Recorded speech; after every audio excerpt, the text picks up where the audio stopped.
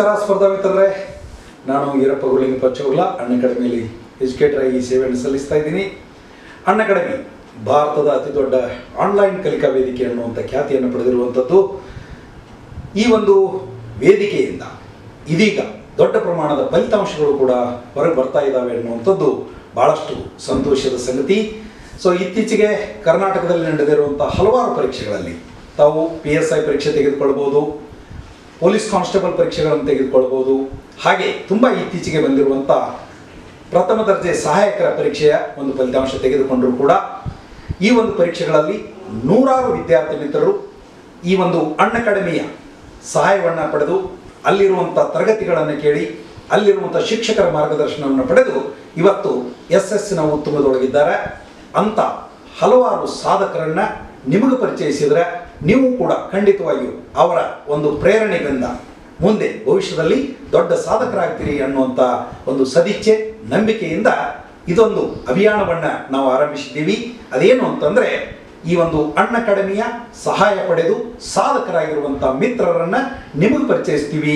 ಅವರು ಹೇಗೆ ಸಿದ್ಧತೆ ಮಾಡಿದರು, ಹೇಗೆ ಅಣ್ಣ ಕಡಿಮೆ ವೇದಿಕೆಯನ್ನು ಬಳಸಿಕೊಂಡ್ರು, ಮತ್ತು ಹೇಗೆ ಇವತ್ತು ಸಾಧಕರ ಸಾಲಿನಲ್ಲಿದ್ದಾರೆ ಅನ್ನುವಂಥದ್ದನ್ನ ತಮಗೆ ಪರಿಚಯಿಸುವಂಥದ್ದು ನಮ್ಮ ಉದ್ದೇಶ ಆಗಿದೆ.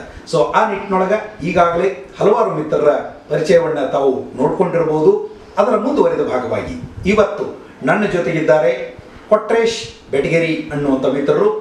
ಕೊಟ್ರೇಶ್ ಬೆಟಗೇರಿ, ಇವರು ಮೂಲತಃ ಕೊಪ್ಪಳ ಜಿಲ್ಲೆಯವರು ಬಿ ಎಸ್ ಸಿ ಪದವೀಧರರಾಗ್ಯಾರ ಈಗ ಇತ್ತೀಚೆಗೆ ಬಂದಂಥ ಪರೀಕ್ಷಾ ಫಲಿತಾಂಶದೊಳಗೆ, ಪ್ರಥಮ ದರ್ಜೆ ಸಹಾಯಕರ ಪರೀಕ್ಷಾ ಒಂದು ಫಲಿತಾಂಶದೊಳಗೆ ಅವರು ಮಹಿಳಾ ಮತ್ತು ಮಕ್ಕಳ ಕಲ್ಯಾಣ ಇಲಾಖೆಗೆ ಪ್ರಥಮ ದರ್ಜೆ ಸಹಾಯಕರಾಗಿ ಆಯ್ಕೆಗೊಂಡಾರ.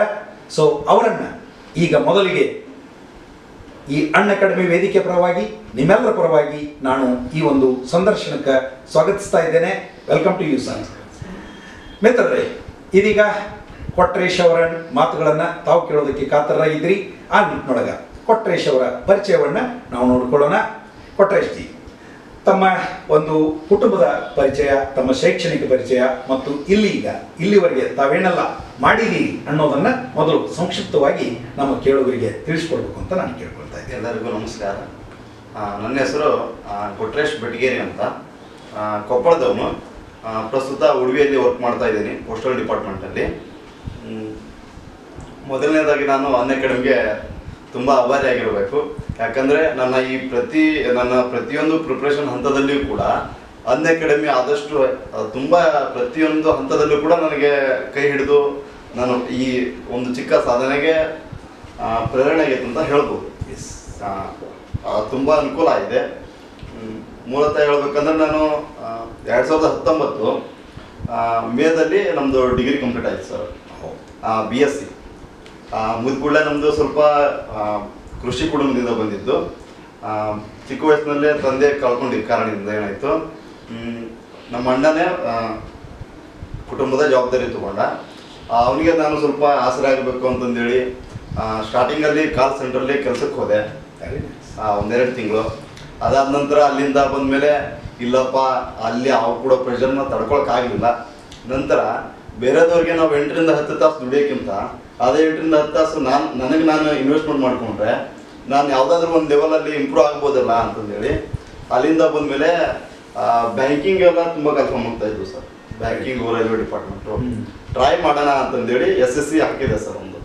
S S C I B P S ನೋಡೋಣ ಅಂತಂದೇಳಿ. ಅದು ಸ್ಟಾರ್ಟಿಂಗ್ ಎಲ್ಲ ಆಯಿತು ಅದೇ ಟೈಮಲ್ಲಿ ಏನಾಯಿತು ನಮ್ಮ ಸ್ಟೇಟ್ ಲೆವೆಲ್ನ ಎಕ್ಸಾಮಲ್ಲಿ ಪಿ ಸಿ ಕನ್ಫರ್ಮ್ ಆಯ್ತು ಸರ್. ಎರಡು ಸಾವಿರದ ಹದಿನೆಂಟು ಪೋಸ್ಟ್ ಕನ್ಫರ್ಮ್ ಆಯ್ತು ಅನ್ಸುತ್ತೆ. ಅದರಲ್ಲಿ ಟ್ರೈ ಮಾಡೋಣ ಅಂತಂದೇಳಿ ಓದಕ್ಕೆ ಸ್ಟಾರ್ಟ್ ಮಾಡಿದೆ ಸರ್ ಮಂಗಳೂರು ಹಾಕಿದ್ದೆ ನಾನು ಆ ಟೈಮಲ್ಲಿ. ಎಪ್ಪತ್ತೊಂದಕ್ಕೆ ನಿಂತ್ಕೊಂಡು ಸರ್ ನಂದು ಅವಾಗ ಅರವತ್ತೊಂಬತ್ತಾಗಿತ್ತು. ಆಗಲಿಲ್ಲ ಸರ್ ಆ ಟೈಮಲ್ಲಿ ಏನಂತೂ ನಾನು ಬ್ಯಾಂಕಿಂಗ್ ಕಾನ್ಸಂಟ್ರೇಷನ್ ಮಾಡೋಕ್ಕಾಗದೆ ಸ್ಟೇಟ್ ಲೆವೆಲ್ ಎಕ್ಸಾಮ್ ಮಾಡಿಬಿಟ್ಟೆ. ಏನು ಮಾಡ್ದಪ್ಪ ಅಂತಂದೇಳಿ U P S C K P S C try ಮಾಡೋಣ ಅಂತಂದೇಳಿ ಓದಕ್ಕಂತ ಕೂತ್ಕೊಂಡೆ. ಏನೂ ಗೊತ್ತಿಲ್ಲ ಮೈಂಡ್ ಫುಲ್ ಬ್ಲಾಂಕ್ ಇದೆ ಸರ್ ಆ ಟೈಮಲ್ಲಿ ಏನು ಮಾಡೋಣ ಅಂತ ಗೊತ್ತೆ? ಮನೆಯಲ್ಲಿ ಪ್ರೆಷರು ಜವಾಬ್ದಾರಿ ಇದು ದುಡ್ಡಿನ ಹಣಕಾಸಿನ ಸಮಸ್ಯೆ. ಏನು ಮಾಡೋಣ ಅಂತಿದ್ದೆ? ಅದೇ ಟೈಮಲ್ಲಿ ಮತ್ತೆ ವಾಪಸ್ ಕೆಲ್ಸಕ್ಕೆ ಹೋದೆ ಸರ್ ಎನ್ ಜಿ ಒದಲ್ಲಿ ಮತ್ತೆ ಒಂದು ಎರಡು ಮೂರು ತಿಂಗಳು ಎನ್ ಜಿ ಒದಲ್ಲಿ ವರ್ಕ್ ಮಾಡಿದೆ. ಮತ್ತೆ ವಾಪಸ್ ಬಂದು ಓದಕ್ಕೆ ಹೋಗ್ತೀನಿ ಮೈಂಡ್ ಕಾನ್ಸಂಟ್ರೇಷನೇ ಇಲ್ಲ. ಏನು ಮಾಡೋಣ ಏನು ಮಾಡೋಣ ಅಂತಂದೇಳಿ ಹಿಂಗೆ ಓದ್ತಾ ಇರ್ಬೇಕಾದ್ರೆ ಕೆಲವೊಂದು ಮ್ಯಾಗ್ಝಿನ್ ಓದಿದೆ ಸರ್. ರೈಟ್ ಆ ಮ್ಯಾಗ್ಝಿನ್ ಅಲ್ಲಿ ನಿಮ್ಮ ಆರ್ಟಿಕಲ್ಸ್ ಕೂಡ ಓದಿದ್ದೆ ನಾನು ಬಿಂಬ ಮತ್ತೆ ಸ್ಪರ್ಧಾ ಸ್ಫೂರ್ತಿ. ನಾನು ಅದನ್ನ ಮೊದಲಿನಿಂದ ಬರ್ಕೊಂಡು ಬಂದಿದ್ದೀನಿ ಎಸ್ ಅದೇ ರೀತಿ ನಮ್ಮ ಕೆ ಎಂ ಸುರೇಶ್ ಸರ್ ಅವರ ಆರ್ಟಿಕಲ್ಸ್ ಕೂಡ ಸ್ಟಾರ್ಟಿಂಗ್ ಫ್ರಂಟ್ ಪೇಜ್ ಅಲ್ಲಿ ಅವರು ಕೂಡ ಬರೀತಾರೆ ಅವ್ರು ಓದಾಗಲ್ಲ. ಮತ್ತೆ ನಮ್ಮ ಸಾಧನಾ ಅಕಾಡೆಮಿಯಲ್ಲಿ ಮಂಜುನಾಥ್ ಸರ್ ಕೂಡ ಅವ್ರ ವಿಡಿಯೋಸ್ ಎಲ್ಲ ನೋಡ್ತಾ ಇದ್ದೆ. ಹಿಂಗೆ ದಿನಕ್ಕೆ ದಿನ ಇನ್ಸ್ಪಿರೇಷನ್ ಆಗ್ತಾ ಆಗ್ತಾ. ಕಾಂಪಿಟೇಟಿವ್ ಫೀಲ್ಡ್ಗೆ ನನ್ನಷ್ಟಕ್ಕೆ ನಾನೇ ತೊಡಗಿಸ್ಕೊಂಡೆ. ಅವಾಗ ಬಂದಾಗ ಏನಾಯ್ತು? ಎರಡ್ ಸಾವಿರದ ಇಪ್ಪತ್ತರ ಟೈಮ್ ಸರ್. ಲಾಕ್ಡೌನ್ ಬೇರೆ ಆಯ್ತು. ಹೌದು. ಧಾರವಾಡಕ್ಕೆ ಬಂದಿದ್ದೆ ಒಂದ್ ತಿಂಗಳು ಓದಿದೆ. ಏನೂ ಗೊತ್ತಿಲ್ಲ ವಾಪಸ್ ಊರಿಗೆ ಹೋದೆ. ಏನ್ ಮಾಡೋಣ ಅಂತ ಕೂತಾಗ ಅನ್ ಅಕಾಡೆಮಿ ಇತ್ತು ಆ ಟೈಮಲ್ಲಿ. ಆ ಟೈಮಲ್ಲಿ ನನಗೆ ಶ್ರೀಕಾಂತ್ ರೆಡ್ಡಿ ಸರ್ ಅಂತ. ಅವ್ರು ನಿಮ್ ಜೊತೆ ವರ್ಕ್ ಮಾಡಿದ್ದಾರೆ.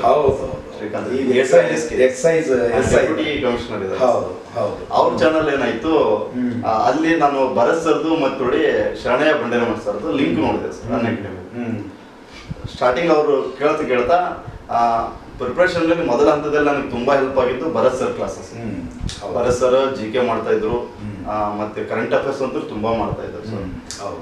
ಹಂಗೆ ನೋಡ್ತಾ ನೋಡ್ತಾ ನೋಡ್ತಾ ಫುಲ್ಲು ಕಾಂಪಿಟೇಟಿವ್ ಫೀಲ್ಡ್ಗೆ ಫುಲ್ ಮೋಟಿವೇಟ್ ಆಗುತ್ತೆ ಸರ್ ವೆರಿ ಗುಡ್ ಆ, ಭರತ್ ಸರ್ನ ತುಂಬಾ ಫಾಲೋ ಮಾಡಿದೆ. ಅವ್ರು ಯಾವ ತರ ಹೇಳ್ತಾ ಇದ್ರು ಅವ್ರೇ ಬರೀ ಆ ಫೀಲ್ಡ್ ಬಿಟ್ಟು ಹೊರಗಡೆ ಲೈಫಲ್ಲಿ ಕೂಡ ಯಾವ ತರ ಎಥಿಕ್ಸ್ ಇರಬೇಕು ಅನ್ನೋದನ್ನು ಕೂಡ ಫಾಲೋ ಮಾಡಿದೆ. ನನ್ನ ಮೇನ್ ಫೋಕಸ್ ನಾನು ಎಫ್ ಡಿ ಅಂತ ಏನು ಮಾಡಲಿಲ್ಲ ಸರ್. ನಾನು U P S C K S ಲೆವೆಲ್ಗೆ ಇರಲಿ ಪ್ರಿಪ್ರೇಷನ್ ಅಂತ ಮಾಡಿದೆ. ಅದರಲ್ಲಿ ಅನ್ ಅಕಾಡೆಮಿ ತುಂಬಾ ಹೆಲ್ಪ್ ಆಯ್ತು. ಆ ಟೈಮಲ್ಲಿ ಏನಾಯ್ತು ನಂದು ಈ ಪೋಸ್ಟಲ್ ಡಿಪಾರ್ಟ್ಮೆಂಟಲ್ಲಿ ಜಾಬ್ ಆಯ್ತು ಸರ್ ವೆರಿ ನೈಸ್ ಅದಕ್ಕೆ ಹೋಗಿಂತ ಮುಂಚೆ ಧರ್ಮಸ್ಥಳ ಗುಂಪಲ್ಲಿ ಕೆಲಸ ಮಾಡಿದೆ ಸರ್ ಓಹೋ ಎಸ್ ಕೆ ಡಿ ಆರ್ ಹೌದು ಹೌದು ಹೌದು. ಅಲ್ಲಿ ತುಂಬಾ ಕಷ್ಟ ಸಹಿಷ್ಣುತೆ ಏನು ಯಾವ ತರ ವರ್ಕ್ ಮಾಡ್ಬೇಕು ಅನ್ನೋದು. ಕಲಿಸ್ಕೊಡ್ತದೆ. ಹೌದು. ಹೌದು. ಅವಾಗ ಏನಾಯ್ತು ಅದೇ ಎಲ್ಲ ಉಪಯೋಗಿಸ್ಕೊಂಡು ನಾನು ಈ ವರ್ಕ್ ಮಾಡ್ಕೊಳ್ತಾನೆ ಯಾವ ತರ ಟೈಮ್ ಅಡ್ಜಸ್ಟ್ ಮಾಡ್ಕೋಬೇಕು ಅನ್ನೋದನ್ನ ಕಲಿತು ಪ್ಲಸ್ ತಗೊಂಡೆ ಸರ್. ಅದಕ್ಕಿಂತ ಮುಂಚೆ ನಾನು ಪ್ಲಸ್ ಅಲ್ಲಿ ಇದ್ದಿಲ್ಲ. ಫ್ರೀ ಕ್ಲಾಸಸ್ ಅಷ್ಟೇ ರೆಫರ್ ಮಾಡ್ತಾ ಇದ್ದೆ. ಪ್ರತಿಯೊಂದು ಎಜುಕೇಟರ್ದು ರೆಫರ್ ಮಾಡ್ಕೊಳ್ತಾ ಮಾಡ್ಕೊಳ್ತಾ ಇನ್ವೆಸ್ಟ್ಮೆಂಟ್ ಮಾಡ್ಕೊಂಡೆ. ಇದರಲ್ಲಿ ನನಗೆ ಭಾಳ ಹೆಲ್ಪ್ ಆಗಿದೆ ಏನಂದ್ರೆ ಟೆಸ್ಟ್ ಸೀರೀಸ್ ವಾವ್ ಅನ್ ಅಕಾಡೆಮಿದು ಟಾಪಿಕ್ ವೈಸ್ ಟೆಸ್ಟ್ ಸೀರೀಸ್ ಮಾಡಿದ್ದಾರೆ ಸರ್. ಅದು ತುಂಬಾ ಹೆಲ್ಪ್ ಆಯ್ತು. ವೆರಿ ನೈಸ್ ವೆರಿ ನೈಸ್ ಈಗ ಕನ್ನಡ ಸಬ್ಜೆಕ್ಟಿಗೆ ಆಗಿರ್ಬೋದು ಆ, ಆ ಸಬ್ಜೆಕ್ಟಿಗೆ ತುಂಬಾ ಹೆಲ್ಪ್ ಆಯ್ತು ಸರ್. ಪ್ರತಿಯೊಂದು ಈ ಸಬ್ಜೆಕ್ಟ್ ವೈಸ್ ಸಬ್ಜೆಕ್ಟ್ ವೈಸ್ ಮಾಡಿದ್ದಾರೆ. ಭಾಳ ಹೆಲ್ಪ್ ಆಯ್ತು. ಅದಾದ್ಮೇಲೆ ಸೆಕೆಂಡ್ ಪೇಪರ್ ಕೂಡ ತುಂಬಾ ಹೆಲ್ಪ್ ಆಯ್ತು ಸರ್. ಅವು ಟಾಪಿಕ್ ವೈಸ್ ಮಾಡಿದ್ದಾರೆ. History geography. ಜಿಯೋಗ್ರಫರ್ ಮತ್ತು part physical part Indian geography. ಮತ್ತು ಕರ್ನಾಟಕ. ಈ ಥರ ಸಪ್ರೇಟ್ ಕೂಡ ಮಾಡಿದ್ದಾರೆ. ಈ ಥರ ಪ್ರತಿಯೊಂದು ಹಂತದಲ್ಲಿ ಕೂಡ ಹೆಲ್ಪ್ ಆಯ್ತು ಸರ್. ವೆರಿ ನೈಸ್ ಕೊಟ್ರೇಶ್ ಅವರೇ ನನ್ನ ಮುಖ್ಯ ಪ್ರಶ್ನೆ ಏನಪ್ಪ ಅಂತಂದ್ರೆ ಬಹಳಷ್ಟು ವಿದ್ಯಾರ್ಥಿ ಮಿತ್ರರನ್ನ ನಾವು ನಮ್ಮ ಸುತ್ತಲೂ ಇರುವಾಗ ನೋಡೋದು ಏನು ಅಂತಂದ್ರೆ ಎಲ್ಲರದ್ದು ಕಂಪ್ಲೇಂಟ್ ಏನು ಅಂದರೆ ಸಮಯ ಸಾಕಾಗ್ತಾ ಇಲ್ಲ, ತುಂಬಾ ಓದೋದಿದೆ ಅಂತ. ಅವರು ಫುಲ್ ಪ್ಲೇಜ್ಡ್ ಆಗಿ ಫುಲ್ ಟೈಮ್ ಆಗಿ ಓದುವಾಗಲೇ ಸಮಯ ಸಾಕಾಗೋದಿಲ್ಲ ಅಂತ ಹೇಳ್ತಾರೆ. ತಾವು ಈ ತರ ಎಲ್ಲ ಕೆಲಸ ಮಾಡ್ತಾ ಮಾಡ್ತಾ ಇಂಥ ಒಂದು ಸಿದ್ಧತೆಯನ್ನು ಮಾಡಿದಿರಿ. ತಾವು ಸಮಯದ ನಿರ್ವಹಣೆಯನ್ನು ಹೇಗೆ ಮಾಡಿದಿರಿ ಮತ್ತು ಹೇಗೆ ಮಾಡಬೇಕು ಅನ್ನುವಂಥದ್ದನ್ನು ನಮ್ಮ ವಿದ್ಯಾರ್ಥಿ ಮಿತ್ರರಿಗೆ ಹೇಳ್ಕೊಟ್ರೆ ಚೆನ್ನಾಗಿರ್ತದೆ ನಾನು ಈ ಪ್ರಿಪ್ರೇಷನ್ ಹಂತದಲ್ಲಿ ನಾನು ಆಲ್ಮೋಸ್ಟ್ ಸೋಷಿಯಲ್ ಮೀಡಿಯಾದಿಂದ ದೂರ ಇದ್ದೆ. ಅದು ಅಲ್ಲಿಂದ ನನಗೆ ತುಂಬ ಟೈಮ್ ಉಳಿತು ಅಂತ ಹೇಳ್ಬೋದು. ವೆರಿ ಗುಡ್ ಆ ಟೈಮ್ ನಾನು ಭಾಳ ಯೂಸ್ ಮಾಡ್ತಾ ಇದ್ದಿದ್ದು ಟೆಲಿಗ್ರಾಮು Oh. ಅದು ಈ ಚಾನಲ್ಗೋಸ್ಕರ ಈ ಕರೆಂಟ್ ಅಫೇರ್ಸ್ಗೆ ಈ ಜಿ ಕೆ ರಿಲೇಟೆಡ್ ಮಾಹಿತಿಗೋಸ್ಕರ ನಾನು ಫಾಲೋ ಮಾಡ್ತಾ ಇದ್ದೆ. ಅದನ್ನ ಬಿಟ್ಟರೆ ಈ ಯಾವುದೇ ಸೋಷಿಯಲ್ ಮೀಡಿಯಾದಲ್ಲಿ ನಾನು ಅವೈಲೇಬಲ್ ಇದ್ದಿಲ್ಲ ಆ ಟೈಮಲ್ಲಿ ರೈಟ್ ಅದಾದ ನಂತರ ಮತ್ತೆ ನಾನು ವರ್ಕ್ ಮುಗಿದ್ಮೇಲೆ ನಾನು ಡೈಲಿ ಟೈಮ್ ಟೇಬಲ್ ಹಾಕೋತಿದ್ದೆ ಸರ್. ರೈಟ್ ಮಾರ್ನಿಂಗ್ ಯಾವ ಸಬ್ಜೆಕ್ಟ್ ಓದಬೇಕು. ವರ್ಕಿಂದ ಬಂದ್ಮೇಲೆ ನಾನು ಯಾವ ಥರ ಇದಾಗಬೇಕು ಅಂತ ಮಾಡ್ತಾ ಇದ್ದೆ. ಕೆಲವೊಂದ್ಸರಿ ಏನಾಗುತ್ತೆ ನಾವು ಮಿಷಿನ್ ಲೈಫ್ ಅಂತೂ ಅಲ್ಲ. ಇವತ್ತು ನಾನು ಎಂಟು ತಾಸು ಓದಿದೆ ಅಂದ್ರೆ ನೆಕ್ಸ್ಟ್ ದಿನನೇ ಎಂಟು ತಾಸು ಓದಕ್ಕೆ ಸಾಧ್ಯನೇ ಇಲ್ಲ ನಾವು ಒಂದಿನ ದಿನ ಕೆಲವೊಂದ್ಸರಿ ಡಿಪ್ರೆಸ್ ಆಗ್ತೀವಿ. ಆ, ಟೈಮ್ ಏನಾಗುತ್ತೆ ಒಂದು ತಾಸು ಎರಡು ತಾಸು ಓದ್ತೀವಿ. ಬಟ್ ಹಂಗಂತಂದೇಳಿ ನಮ್ಮ ಡೈಲಿ ರುಟೀನ್ ನಾವು ಬಿಡ್ಲಿಕ್ಕೆ ಸಾಧ್ಯ ಇಲ್ಲ. ನಾವು ಅದಕ್ಕೆ ಡೆಡಿಕೇಶನ್ ಕೊಟ್ಟಾಗ ಟೈಮ್ ಅಡ್ಜಸ್ಟ್ ಆಗಿ ಬಿಡುತ್ತೆ sir. So it is like Kotresh ಏನು ಹೇಳ್ತಿದ್ದಾರೆ ಅಂತಂದ್ರೆ ನಮ್ಮಲ್ಲಿ ಒಂದು ತುಂಬ ಪ್ರಸಿದ್ಧ ಸ್ಟೇಟ್ಮೆಂಟ್ ಇದೆ. ಏನು ಅಂತಂದ್ರೆ busy man has time for everything whereas lazy man has no time for anything ಅಂತ. ಸೊ ಕೆಲಸ ಮಾಡೋರಿಗೆ ಹೇಗಾದರೂ ಸಮಯ ಅಡ್ಜಸ್ಟ್ ಆಗ್ತದೆ ಅಂತ. ಸೊ ಅದಕ್ಕಾಗಿ ವಿದ್ಯಾರ್ಥಿ ಮಿತ್ರರಲ್ಲಿ ನನ್ನದು ಕೂಡ ತುಂಬ ಪ್ರೀತಿಯ ಒಂದು ಏನು ಮನವಿ ಏನು ಅಂತಂದರೆ ಸಂದೇಶ ಏನು ಅಂತಂದರೆ ಯಾವಾಗಲೂ ಸಮಯದ ಕೊರತೆದ ಬಗ್ಗೆ ನೀವು ಈ ಒಂದು ಕಂಪ್ಲೇಂಟ್ ನೆಪ ಹೇಳೋದು ಬೇಡ.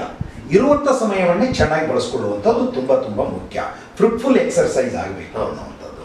ಓಕೆ ಸೊ ಇಲ್ಲಿ ಎಫ್ ಡಿ ಎದೊಳಗೆ ತಮಗೆಲ್ಲ ಗೊತ್ತಿರೋ ರೀತಿ ಒಳಗೆ paper one and paper two ಅನ್ನೋಂಥವು so ಒಂದು ಕನ್ನಡ ನಮಗೆ ಇದೆ. ಇನ್ನೊಂದು ಸಾಮಾನ್ಯ ಜ್ಞಾನ. ಅನ್ನುವಂಥದ್ದು ಸೊ ಈ ಎರಡೂ ಪತ್ರಿಕೆಗಳನ್ನು ತಾವು ಹೇಗೆ ನಿರ್ವಹಿಸಿದ್ರಿ? ನಾನು ಕನ್ನಡದಲ್ಲಿ ಸರ್ ನಾನು ಯಾವುದೇ ಬುಕ್ಕನ್ನು ರೆಫರ್ ಮಾಡಿಲ್ಲ. ನನಗೆ ಮೋಸ್ಟ್ ಆಫ್ ಹೆಲ್ಪ್ ಆಗಿದ್ದೆ ಅಂದ್ರೆ ಭೀಮಾಶಂಕರ್ ಜೋಶಿ ಸರ್ ಕ್ಲಾಸಸ್. ಮತ್ತೆ ಅದೇ ರೀತಿ Sundaresh sir classes very good ಅವ್ರು ಟಾಪಿಕ್ ವೈಸ್ ಮಾಡಿದ್ದಾರೆ. ವಿತ್ ನೋಟ್ಸ್ ಕೊಡ್ತಾ ಇದ್ರು. ನೋಟ್ಸ್ ನಾನು ಡೌನ್ಲೋಡ್ ಮಾಡ್ಕೋತಿದ್ದೆ ಸರ್. ಅಕಾಡೆಮಿ ವೇದಿಕೆ ಒಳಗೆ ವಿತ್ ಅನ್ನೋಕೇಶನ್ ಅಂತ ಇರುತ್ತೆ ಹೌದು, ವಿತ್ ಹೌದು. ಅನ್ನೋಕೇಶನ್ ಮಾಡ್ಕೋತಾ ಇದ್ದೆ. ಮಿಸ್ಟೇಕ್ ಇದ್ರು ಕೂಡ ಅವ್ರು ಕರೆಕ್ಷನ್ ಮಾಡ್ತಾ ಇದ್ರು ಸರ್. ಅದನ್ನ ಕ್ಲಾಸಸ್ ಕೇಳಕ್ ಆಗಿಲ್ಲ ಸರ್. ನಾನು ಕ್ಲಾಸಸ್ ಆಲ್ಮೋಸ್ಟ್ ಕೇಳಿಲ್ಲ.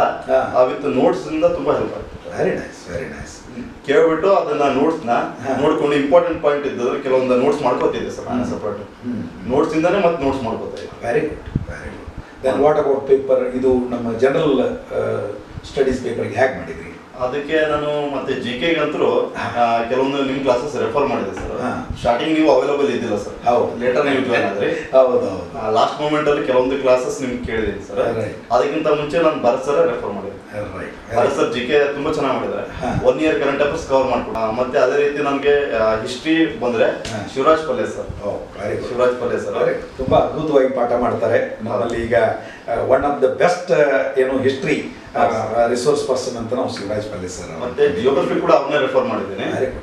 ಇನ್ ಡೆಪ್ತ್ ಆಗಿ ನಾನು ಕೆಲವೊಂದನ್ನ ಆನ್ಸರ್ ರೈಟಿಂಗ್ ಗೋಸ್ಕರ ಅಂತಂದು ಕೆ ಎಸ್ ಮಾಡ್ಬೇಕನ್ನೋ ಉದ್ದೇಶದಿಂದ ಹ್ಮ್. ಆ, ನಿಂಗಪ್ಪ ಮುಸಳಿ ಸರ್ನ ರೆಫರ್ ಮಾಡಿದೆ ಅವ್ರದ್ದು ಕೂಡ ಅದ್ಭುತವಾಗಿ ಜಿಯೋಗ್ರಫಿ. ಪಾಠ ಮಾಡ್ತಾರೆ.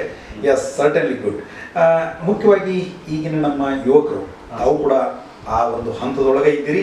ಜಸ್ಟ್ ಆ ಹಂತದಿಂದ ಒಂದು ಜವಾಬ್ದಾರಿ. ಹಂತಕ್ಕೆ ತಾವು ಬಂದಿದ್ದೀರಿ. ಬಹಳಷ್ಟು ಸಲ ಏನಾಗ್ತದೆ ನಮ್ಮ ಜವಾಬ್ದಾರಿಯನ್ನು ನಾವು ಅರಿತುಕೊಳ್ಳದೆ ಹೋಗೋದ್ರಿಂದಲೇ ಬದುಕಿನೊಳಗೆ ವಿಫಲತೆ ಅನ್ನುವಂಥದ್ದು ನಾವು ಸಾಮಾನ್ಯವಾಗಿ ಕಾಣ್ತೀವಿ. ಅದು ಬೋಧಕ್ಕೆ ಎಲ್ಲರಿಗೂ ಅನ್ವಯ ಆಗ್ತದೆ. ಸೊ ಈ ಹಿನ್ನೆಲೆ ಒಳಗೆ ನಮ್ಮ ಯುವಕರು ತಮ್ಮ ಜವಾಬ್ದಾರಿಯನ್ನು ಅರಿತುಕೊಳ್ಳೋ ನಿಟ್ಟಿನೊಳಗೆ ತಾವು ಒಂದು ಏನು ಸಂದೇಶ ಕೊಡ್ತೀರಿ ಅವರಿಗೆ? ನಾನು ಮೊದಲೇ ಮಾತು ಏನು ಹೇಳ್ಬೇಕಂತ. ತಾವು ಒಂದು ತಮ್ಮ ಕುಟುಂಬದ ಪರಿಸ್ಥಿತಿ ಯಾವ ತರ ಐತೆ ಅನ್ನೋದನ್ನ ಮೊದಲು ತಿಳ್ಕೊಬೇಕು. ಅದರಲ್ಲಿ ತಮ್ಮ ಜವಾಬ್ದಾರಿ ಏನನ್ನೋದನ್ನ ಕಂಡುಕೊಂಡಾಗ ಆಟೋಮೆಟಿಕ್ ತಾವ್ ಏನ್ ಮಾಡ್ಬೇಕು ಅನ್ನೋದು ಗೊತ್ತಾಗಿಬಿಡುತ್ತೆ. ಮತ್ತೆ ನಾನು ಓದ್ತೀನಂತ ನಿಂತಾಗ ಯಾವ್ದೇ ರೀತಿ ಇಂಜುರಿ ಬಂತು ಡಿವೋ ಡಿಮೋಟಿವೇಟ್ ಆಗ್ಬೋದು. ಅದು ಇಂಪಾರ್ಟೆಂಟ್ ಕೆಲವೊಬ್ರು ಏನಂತಾರೆ ಫಸ್ಟ್ ಅಟೆಂಪ್ಟ್ ಅಲ್ಲಿ ಎಫ್ ಡಿ ಆಗಲ್ಲ ಅಂತ ಇದನ್ನ ಮೊದಲೇ attempt sir Wow.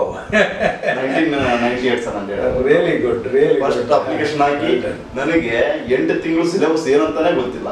ಕೊನೆ ಆರು ತಿಂಗಳಲ್ಲಿ ನಾನು ಪ್ರಿಪ್ರೇಷನ್ ಸ್ಪೀಡ್ ಮಾಡ್ಕೊಂಡೆ ಅಷ್ಟೇ ಹಾ. ವರ್ಕ್ ಮಾಡ್ಕೋತಾ ಮಾಡ್ಕೋತಾ ನಾನು ಇದು ಮಾಡ್ಕೊಂಡೆ ಸರ್ ಎಸ್ ಸೊ ಇದೊಂದು ಓದ್ ಓದ್ತಾ ಕುಂತ ಮೇಲೆ ಸರ್. ನಾನು ಇಷ್ಟೇ ಸಿಲೆಬಸ್ ಓದ್ತೀನಿ ಅಂತಂದು ಯಾವತ್ತೂ ಕೂಡ ನಾವು ಫಿಕ್ಸ್ ಆಗ್ಬಾರ್ದು. ಅದು ಎಷ್ಟೇ ಬರಲಿ ನಾನು ಎಫ್ ಡಿ ಎ ಓದ್ತೀನಿ ಅಂದ್ಬಿಟ್ಟು ಬರೀ F D A question solve ಮಾಡೋದಲ್ಲ. ಬಿ ಸಿ ಸಿದಾದ್ರೂ ಮಾಡ್ಬೋದು. ಕೆ ಎಸ್ ಮಾಡ್ಬೋದು ಐ ಎಸ್ ಕೂಡ ಮಾಡ್ಬೋದು. ನಾನು ಕೆ ಎಸ್ ಕ್ವಶನ್ ಪೇಪರ್ ಕೂಡ ರೆಫರ್ ಮಾಡ್ತಾ ಇದ್ದೀನಿ. ವೆರಿ ಕರೆಕ್ಟ್ ಈಗ ನಾನು ನನ್ನ ಕ್ಲಾಸ್ನೊಳಗೆ ಸಾಮಾನ್ಯವಾಗಿ ಏನು ಪ್ರೀ ಕ್ಲಾಸ್ಗಳನ್ನು ಮಾಡ್ತೀನಿ. ಅಲ್ಲಿ ನಾನು police constable to I A S ಎಕ್ಸಾಮ್ವರೆಗೂ ಅಷ್ಟು ಕ್ವಶನ್ ಪೇಪರ್ಸ್ ಅನ್ನು ಸಾಲ್ವ್ ಮಾಡುತ್ತೀನಿ ಮುಖ್ಯ ಕಾರಣ ಅಂದ್ರೆ ಇದೆ. ನೀವೇನು ಹೇಳಿದ್ರಲ್ಲ ಈ ರೀತಿ ಒಳಗೆ ನಾನು ಪಿ ಸಿ ಬಂದಿದ್ದೀನಿ ಅಂದ್ರೆ ಬರೀ ಪಿ ಸಿ ಕ್ವಶನ್ ಪೇಪರ್ ಓದಿದ್ರೆ ಅಲ್ಲಿ ಒಳಗೆ ಕ್ವಶನ್ ಬರ್ತಾವಂತಲ್ಲ ನೀವು ಅದ್ರ ಜೊತೆಗೆ ಒಂದಿಷ್ಟು ಬೇರೆ. ಮುಂದಕ್ಕೆ ಹೋಗಿ ನೋಡಿದಾಗ ಸಹಜವಾಗಿ ಅಲ್ಲಿರುವಂಥ ಕ್ವಶನ್ಗಳು ಕೂಡ ತಮಗೆ ಹೆಲ್ಪ್ ಆಗ್ತಾವೆ ಅನ್ನೋದು ನಿಜವಾಗಿ ಬಹಳ ಒಂದು ಸರಿಯಾದ ಅಪ್ರೋಚನ್ನು ತಾವು ಅಳವಡಿಸಿಕೊಂಡಿದ್ದೀರಿ. ಓಕೆ ಇನ್ನು ನಮ್ಮ ಅಣ್ಣ ಕಡಿಮೆ ಏನು ಮಿತ್ರರದಾರ ಬಹಳಷ್ಟು ಲಕ್ಷ ಲಕ್ಷ ಸಂಖ್ಯೆಯಲ್ಲಿ ಕ್ಲಾಸ್ಗಳನ್ನು ಕೇಳುವವರದಾರ. ಸೊ ಅವರಿಗೆ ತಮ್ಮಿಂದ ಒಂದು ಮುಖ್ಯ ಸಂದೇಶವನ್ನು ಕೊಡಲಿ ಅಂತ ನನ್ನ ಅಪೇಕ್ಷೆ. ಪ್ರಯತ್ನ ಪಡ್ರಿ ಎಷ್ಟೇ ಕಷ್ಟ ಆಗಲಿ ಕಷ್ಟ ಆಯಿತು ಅಂತಂದು ಹೇಳ್ಬಿಟ್ರೆ ನಡೆಯಲ್ಲ. ಆದಷ್ಟು ಯೂಸ್ ಮಾಡ್ಕೊಡಿ ತುಂಬ ಹೆಲ್ಪ್ಫುಲ್ ಇದೆ ಸರ್. ಇಂಥ ಎಜುಕೇಟರ್ನ ನಾವು ಅವರ ಇರೋ ಕಡೆ ಹೋಗಿ ಯೂಸ್ ಮಾಡ್ಕೊಳಕ್ಕಾಗಲ್ಲ. ಪ್ರತಿಯೊಂದು ಕೂಡ ತುಂಬ ಜನ ಚಾಯ್ಸಸ್ ಸಿಗುತ್ತೆ ನಿಮಗೆ ಇಲ್ಲಿ. ಬೇರೆ ಕಡೆ ಏನಾಗುತ್ತೆ ಎಲ್ಲಿ ಹೋದರೂ ಕೂಡ ಈ ಲೆವೆಲ್ಗೆ ನಾವು ಪ್ರಿಪ್ರೇಷನ್ ಮಾಡ್ಲಿಕ್ಕೆ ಸಾಧ್ಯ ಇಲ್ಲ. ತುಂಬ ಹೆಲ್ಪ್ಫುಲ್ ಇದೆ. ಟೆಸ್ಟ್ ಇಲ್ಲಿ ಅಟೆಂಡ್ ಆಗಲಿ. ಆದಷ್ಟು ಎಂ ಸಿ ಕ್ಯೂ ಸಾಲ್ವ್ ಮಾಡಿರಿ. ತುಂಬ ತುಂಬಾ ಹೆಲ್ಪ್ ಇದೆ yes thank you so much Kotresh ಹ ನಮ್ಮ ಜೊತೆ ಬಂದು ತಮ್ಮ ಒಂದು ಸಾಧನೆಯ ಅನುಭವವನ್ನು ನಮ್ಮ ಅಣ್ಣ ಅಕಾಡೆಮಿ ಮಿತ್ರರೊಂದಿಗೆ ಹಂಚಿಕೊಂಡಿದ್ದೀರಿ. ಸೊ ತಮಗೆ ಇನ್ನೂ ಭವಿಷ್ಯದೊಳಗೆ ಹೆಚ್ಚಿನ ಯಶಸ್ಸು ಸಿಗಲಿ. ತಾವು ಇನ್ನೂ ಹೆಚ್ಚಿನ ಉನ್ನತ ಹಂತಕ್ಕೆ ಹೋಗುವಂಥ ಶಕ್ತಿಯನ್ನು ದೇವರು ತಮಗೆ ದಯಪಾಲಿಸಲಿ ಅಂತ ಹೇಳ್ತಾ ನಮ್ಮ ಜೊತೆ ತಮ್ಮ ಸಮಯ ಕಳೆದದ್ದಕ್ಕೆ ಮತ್ತೊಮ್ಮೆ ನಮ್ಮ ಅಣ್ಣ ಕಡಿಮೆ ವತಿಯಿಂದ ತಮಗೆ ಧನ್ಯವಾದಗಳನ್ನು ಹೇಳ್ತಾರೆ ಥ್ಯಾಂಕ್ ಯು ಥ್ಯಾಂಕ್ ಯು